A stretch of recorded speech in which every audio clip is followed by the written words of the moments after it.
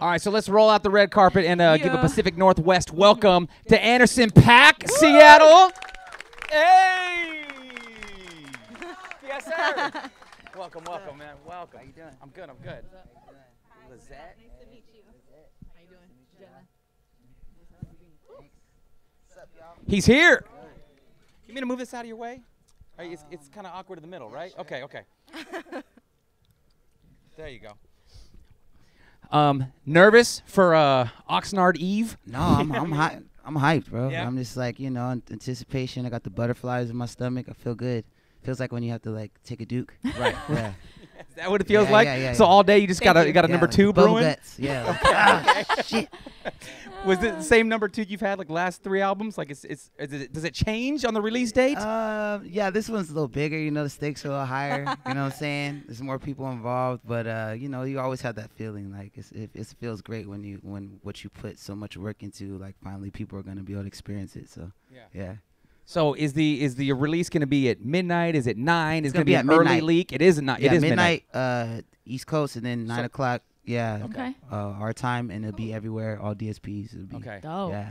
Exciting. That's exciting, bro. And and for you to be here, you know, the eve of, it's really cool. We really appreciate it. Seahawks. Uh, th- are you going to the game tonight? You're gonna be out there? I'm not, but they were screaming outside. I thought they were protesting. Like I kept hearing it, the construction workers and everything, and uh, and uh, so I feel like I mean I'm, Yeah. I'm all I'm all with it, man. Oh, no, it's on. Yeah. On game day, this city is all blue. I'm a Yes. diehard fan. absolutely. I'm a diehard fan starting today. Yeah, there you There go. you go. Welcome aboard. Welcome, Welcome, aboard. welcome to the club.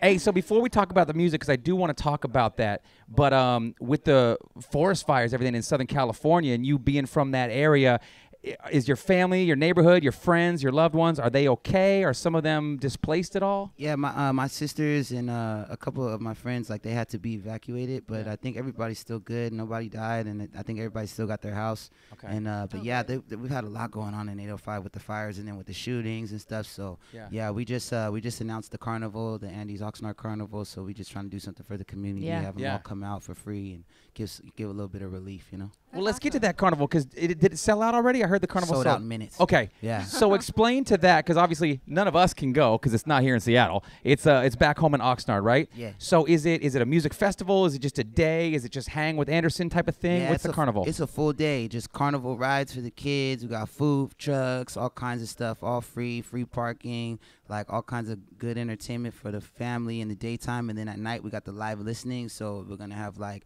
Uh, in the OPAC theater, we're gonna be playing the music. I'm gonna do a little performance, and I got some special guests coming out. Dope. So Now that you're a diehard Seahawks fan, you got to do one up here too. yeah, why not? Come yeah, on. do one. I'll go to the stadium and we'll, we'll just rock out. I like it. Whose idea was that? Because this is something that lately a lot of artists have been throwing their own festivals or their own music events. This kind of give back to the community slash listening party is brand new to me. Like, has this like who came up with this? Where'd this come from? I love it. Yeah. Whose baby was it? I mean, uh, you know, it's my baby. I got a good team though to make it happen. You know, I just spew out ideas and then they just figure out how to make it happen. You know, where to get the money to do it. That's and what we do here too. Yeah, yeah. Shout you out know? to Sam. Yeah, and it's like you know, we named the, the album Oxnard, so it's only right to do something. I always wanted to do something in the OPAC. Nobody ever does anything in my performing arts center, and they they were all with it. The, the city let me shut down the block, and like yeah, everybody was just really helpful. So Yeah, that's Yeah. really dope.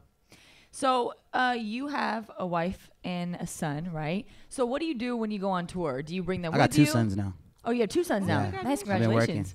Yep. Do you uh do you take them with you on tour? How is it like being so Hell far away from them? How do you keep in Um, contact?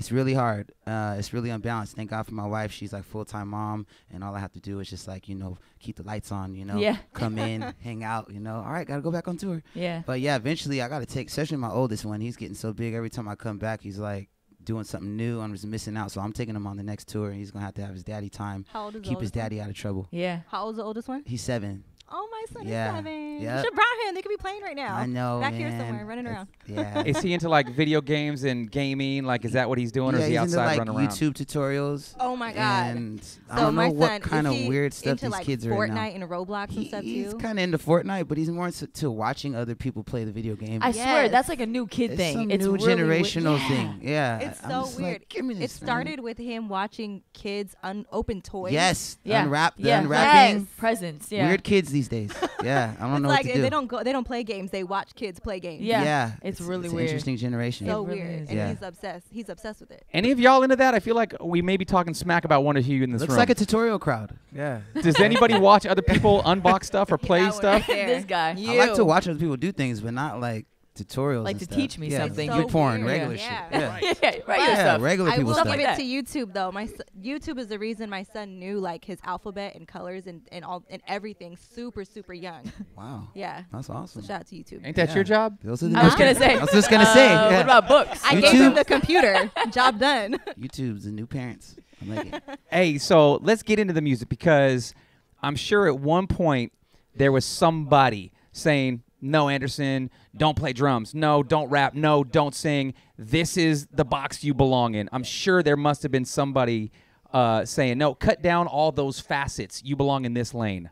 That's right. Yeah, there's always someone projecting their fears on you, and it's just because they can't do it, they think you shouldn't do it either. And like a lot of my 20s, like was based around that too, like kind of finding myself and uh, listening to certain people and and realizing that it was all BS, and then eventually just being like, you know what, I'm gonna do what I want to do. I'm gonna focus 100% on what I want to do and just build me and build my craft, and and can't nobody do me like me. And that was it. Yeah. Mm-hmm. How was it working with like Dr. Dre and I mean like your protege, right? So like, how does that make you feel? Because that's that's a pretty big name.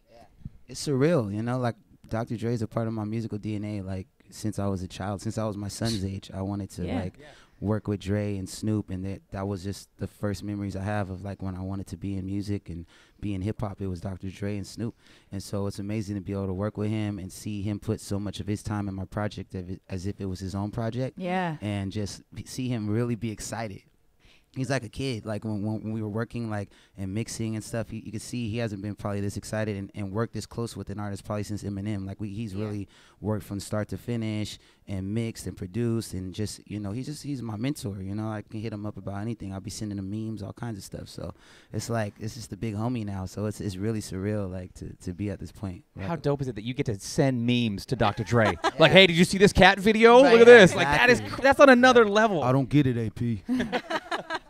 What's even more dope is just to have someone of like, I mean, he's like a genius, right? Like Mm-hmm. legendary, and he believes that much in you, where he's putting in all this work. Like that's got to feel good. Yeah, it's dope, and he's like at a at a point now too where he has a lot of trust in me. He's Yeah. like, you know, let me know if you know, because he's you know he's in his own thing. You know, he he doesn't like anything and any, any kind of music. Like Mm-hmm. a lot of the new music he doesn't feel. So I bring people over there, a lot of new artists and stuff. I'm like, yo, check him out. And he- Yeah. you know, it's like his his window to like what's going on now, and then I'm learning a lot from him too. So. You're like a breath of fresh air, probably for him. Yeah, You're a breath of fresh air, actually, for all of us. Like it's thanks. really nice to have somebody like you in in the business because it kind of opens up a different door than what's kind of going on in like the rap game right now. So I appreciate that the music it's musically talented. You know what I mean? Thank you, appreciate y'all. Yeah.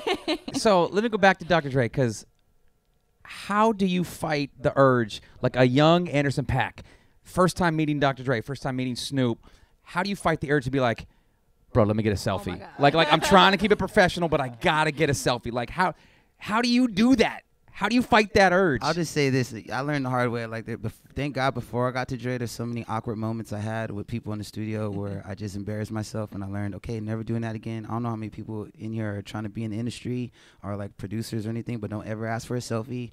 But people that you want to work with, just be try to be as normal as possible, and you know, talk to them and be yourself. You know, like that's what I learned. Like by the time I got to Dre, I was just comfortable in my own skin, and, and like a lot of these people that I work with, it's just I'm just me, you know, and that's what that's what they really are looking for. People that can talk to them like a normal person. Of course, I'm fanning out, and screaming inside, Right. Inside. but Can't yeah, let it's 'em just, know. Yeah, let 'em it's just like once you get over that and just realize, okay, this person's just like me. He got issues just like mm-hmm. me, and it's like we're here to work, and then you know they got a lot of mutual respect for me too, and then then you can get your selfie like later. You know, Okay. s- Sound like you're sneak it speaking from experience. Yeah, yeah, Yeah, yeah, I know, yeah. Who, who was yeah. the first one that you that And you fangirled out on? Yeah, oh man. Fanboyed out, by the way. Yeah, no, but yeah. All due I- I was We all know what fangirling. it No, is. it's okay. Um, it was it was probably someone like like s- super not even like crazy. Like I If think you the, can't even remember, then the it first doesn't time I matter. met Earl Sweatshirt, I was probably like, oh crap. Yeah. Yeah, Oh my I was God. like, this is my CD and blah blah blah. Like he was like, all right, yeah. Cool, thanks. lame. yeah. but then, but then I went on tour with him later. You know, he didn't remember that, like when our awkward meeting the first time. But Really? you know, I was a totally different person. Like I was a cool guy, and then, you know, I didn't have to talk about the You're time like, thank we God he really didn't met." remember that moment. Yeah. But yeah, there was there was mad awkward times. So what can you tell us about Oxnard? I mean, we're a couple we're a couple hours away. You can let some of the Yeah. secrets out the bag, right? Yeah, Oxnard is just a super, super ambitious sound. You know, it's like same man, new car. This is obviously it's not going to be like Venice. It's not going to be like Malibu. It's going to be like Oxnard. You know, Yeah. we're headed up Mhm. the coast. I learned all these different things. Malibu took me like all over the world. Like we Uh-huh. toured for two years plus. We probably still could have been touring, but I had to stop to make the new album. But it was like taking all those experiences and bringing them back home. Working with someone like Dre. This is like you know, again, I think my best my best materials when I work with like one producer. Yeah. So you know, even with like my projects like Yes Lawd with Knxwledge, like it's like a it's a different thing you get when you work with a, a producer that you trust and they can bring the best out of you. So that's that's the, the major difference in this album, and uh, it's just a lot of fun, man. It's not rocket science, but we're having a lot of fun tackling all the different genres and different vibes that I that I can do. You know, a lot of people say he can do a lot, a lot of range and stuff. So I had a lot of fun with that on this album. So when it's talk when you're talking about like the two step song with with Kendrick, or you're talking about like the the festival booty clapping twerk song, Mhm. like Who Are You? Mhm. Or are you talking about What's like one? Pusha T, like you know something you can like you know work out to, or like I don't know, Punch a ru- wall run to. from Yeah. security guards to, yeah. Yeah. Shout out And to the bowler in the audience. Yeah. Then you got the something you can light the candles to with with J Cole, and uh, you just got. Uh, I just like wanted to tackle all kinds of things, and then I, I, I recorded a bunch of music and just picked the best. You know, that's Yeah. my process. Would you do one like in Spanish, like how Drake be doing Spanish music? Absolutely. I can would see love you to doing do that. I can see you Spanish. pulling that off. Yeah, Or yeah. Who would you want to who would would you want to collab with on that? Um, I don't know, like Bad Bunny or um, fire, yeah. um, what's his name? There's another one too from Mexico. Uh, uh, that, J Balvin. uh, yeah, J Balvin. Yep. Um, I forget the, the other my other homie from Mexico that I, I'm really cool with. And I'm not must be not that cool. I can't remember his name. But, okay. It's just uh, blank. yeah, Okay. man. Yeah, I would love to. What's uh, your favorite song on the new album? It changes all the time. Yeah. Um, I guess right now, Cheers. That's with Q-Tip. Okay. Yeah, I was just listening to that today in the shower. Like, damn, we was going in. this is fire, man. I forgot. So real quick, so Q-Tip, uh, so Tribe just had was it their 25th or 30th Yeah. anniversary? It was the 20? was it- They just had the anniversary of the big album. Can you imagine 25, 30 years from now, there's like a, a Malibu anniversary, there's an Oxnard anniversary, like 30 years, 25 years, like. Can you picture that far in advance? Because I'm sure Q-Tip at the time didn't think about that. Nah, yeah, I don't want to think about that. I'm gonna be feeling really old probably when that happens. like, oh my god, I love when Malibu came out. Like, Right. I feel really old now, but nah, I mean that would be amazing. You don't, you always wish that your music is gonna be timeless. That's Yeah. that's what we do it mm-hmm. for. Like we don't want to make anything like trendy or in the moment or something that when we play back, uh, you know, five, ten, even like a year from now, you know, like we don't want it to sound like oh that was dated. We were chasing some sound that Mhm. was only cool for a Mhm. week, Right. which is like a lot of music now. Right. Yeah, some stuff is like they put out music now and it's it's like gets old after literally like a month. Like you can't even play it no more. 'cause it's like- Disposable. yeah, you right. know, yeah. But it's okay. Every every sound, every song has its place. It, it it serves its purpose for whatever. Maybe it is for a tiny window of time, or maybe it's more longevity. Right. Um, Jenna, you can't tell right now, but she is super tatted up. yeah. She has crazy Yeah. tattoos. Um, and I Dog. I Nice heard work. you had some. Did you get some new ink? Because I like the meaning Whew, of that that, and what it's surrounded Yeah. by. Yeah, I just did a little story. Like, you know, my mom came from Korea. She was adopted from Korea, so I got the Korean flag. Then she flew over. She, uh, met my pops, who was in the Navy and the Air Force base. So she met him. He used to work on the fighter That jet jets. is nice. That's- You know what I'm saying? fire. And then they, they, they met in Oxnard, of course. And then they had me, the tiger, in 86. You know? And then It's Is, crazy. so is that a regular tiger or is that a white tiger? uh, that's a regular tiger. Okay, just need to know. It's- yeah. it's a weird you I know? thing. like that it tells a story. Yeah, yeah. everybody these days just get random That was tattoos everywhere, and they just look. That's what I had. I was, I'm, I'm a museum of shitty tattoos, and this is this is like my first like Okay, one no I really thought bad. about. Yeah, I got all kinds sorry. of random stuff. That's good. I like that one though. I like that one. So I don't want to hog uh, this moment. I want to kind of open it up to everybody else who uh, came out here to hang with Anderson. Is there any questions? Uh, I don't want you walking away without the opportunity. Yes, sir.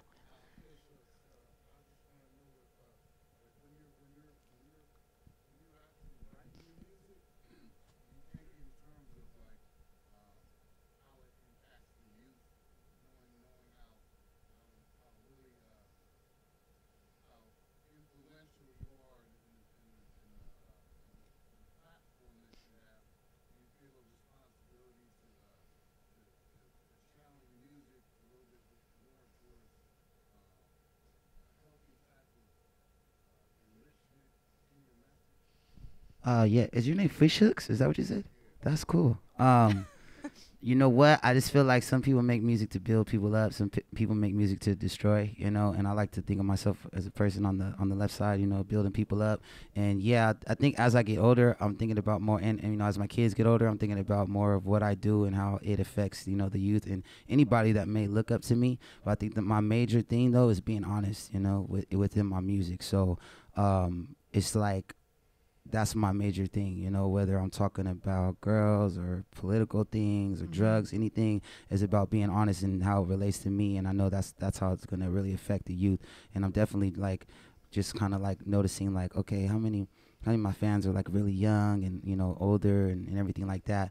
But I try not to like have that completely dictate my creative zone you know? When I, this is still just my outlet you know? Writing music is just uh, something i do to like cope with you know the things that i'm coping with you know? So um, i try not to like sacrifice too much out of that but as i get older i'm like okay do i really want to you know should i've done this like this or you know different things like that. But i think honesty is just the best thing i want to you know put out in my music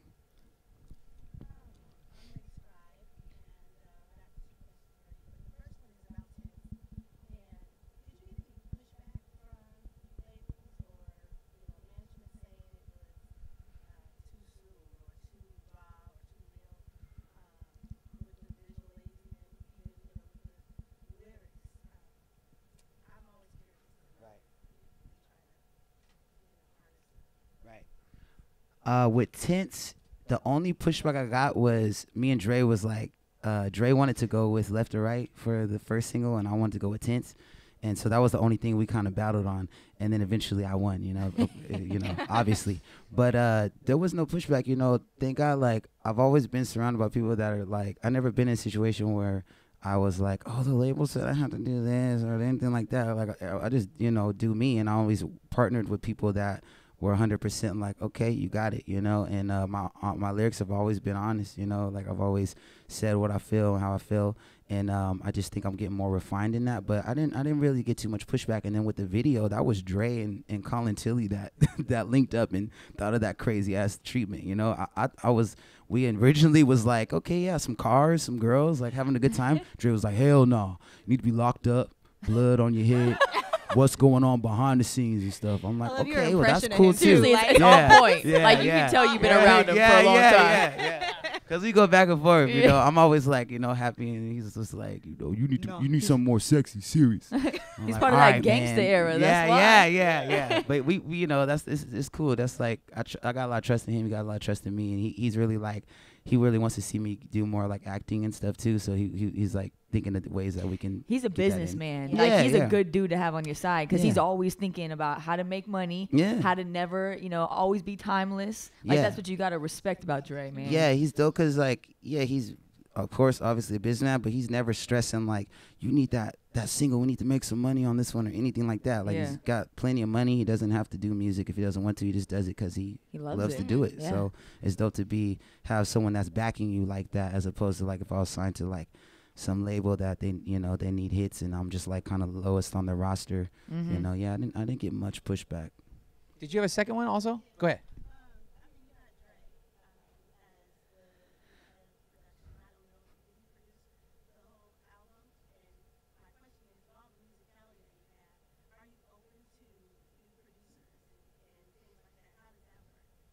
Very open to new producers. The way Dre produces is he utilizes a room. You know, he has his musicians or writers that he's been working with for you know the time being, and, and he has like a, a group. Or you know, I can I bring people in there. I bring my band sometimes, and when he, if he's in the room, he's gonna utilize the room. Okay, let's try this. John, I like that. I don't like that. Let's move on to something like this. Let's move on to something like that. But how it worked with this one is he, he just let me rock for like a year and a half after Malibu. After we dropped Malibu and we were on tour, I started working on the album right after. And for like the first year and a half or so, he just let me produce and, and work with whoever I wanted to work with. And I was just sending them tracks. Is this dope? I love this. I love this. Tints was one of them.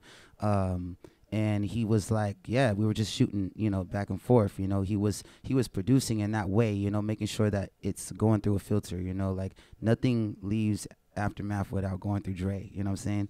And not every label works like that. So uh, once I, I got to a certain level, I thought I was done before working like really close to him, and he was like, "No, you about eighty percent," and I was like, "Oh shit."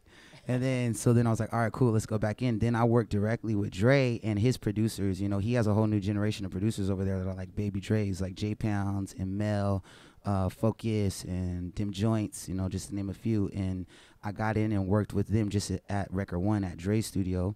And I damn near made a whole new album. So then it was like, cool. I had that, the new batch, and I had the stuff I had, and I just put that together. And then it became, and then we started mixing. And then the mixing process is a whole other thing. Once he starts mixing, we get all the tracks together. Then he starts hearing other things, and then I was in there with him, and we were like, oh, you know, adding little things like that, and like you know, building it up as we went. And so yeah, that's that's the process. And yeah, on this album, I was all for working with the producers I want to work with. I spent like a lot of time just locking myself up in a room and being the the main lead producer on a lot of stuff. And after a while, that it just gets boring, and you want to have a conversation with other people. I worked with a lot of female writers on this one, which was really big for me and just like it was a lot of growth I had in this one. We just trying to take it to another level that we hadn't taken before. That's dope. I think we have time for one more question. Okay. Oh. Oh man, we- Anderson, you got to pick then. Yeah. Don't. Otherwise, they'll hate me. I like how we I mean, put he on seems him. the most eager. All right. All right.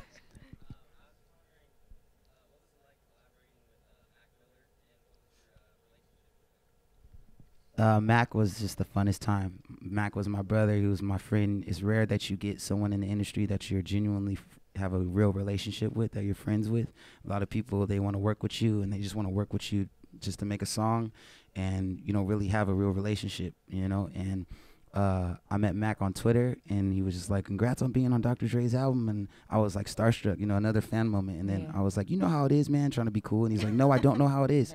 and then we were just like you know cool after that you know? And uh we just built a relationship and uh that you know that's all we only really did one song dang. And that that became like really my first real gold single that I was a part of. And he was another one that was just always just never hesitated to extend his hand was like a magnet was a light was always in good spirits and just someone I could just hit up anytime. And we would just you know roast people anytime we seen each other. You know those friends you could just like you know oh my god look at look It's at the her," homie, start yeah. just laughing you know? That was it. We had so many times we were on tour and just linked up with each other and had just like the funnest times man. So it was it was one of my best experiences one of the, my favorite people I've ever ever known you know? There's a ton of Mac Miller fans out here in Seattle. Um, one of his tour stops was going to be here December 9th. So it's a Sunday, and, and uh, right after his passing, just collectively, we figured there has to be something. Yeah. So we actually teamed up um, with a really nice club out here. And that night, that night he was going to be on stage in Seattle. We're doing a Mac Miller celebration of life Yeah. for him. So we have a, a whole club. We're playing Mac Miller hits all night, and Yep. just we have a lot of like you know projections on the wall for him. Again, uh, more of a celebration of life and the songs he was on, and and the messages that we took away from his music. So All um, benefits go I'm to- glad you brought that up. Yeah, because it, it's it's a benefit also. Yeah, so all all proceeds go to MusiCares. So you know what I mean? It's just something we can do for as a community too. Just and it's five bucks. So if you guys want to go, you know what I mean? It's Yeah. gonna be really dope. We're all gonna be there too. It's gonna help a lot of people heal. Um, again, Oxnard Eve, hours away from the next Yeah. album. Give it up. Give it up for Anderson Yes, Paak. Lord. Thank you.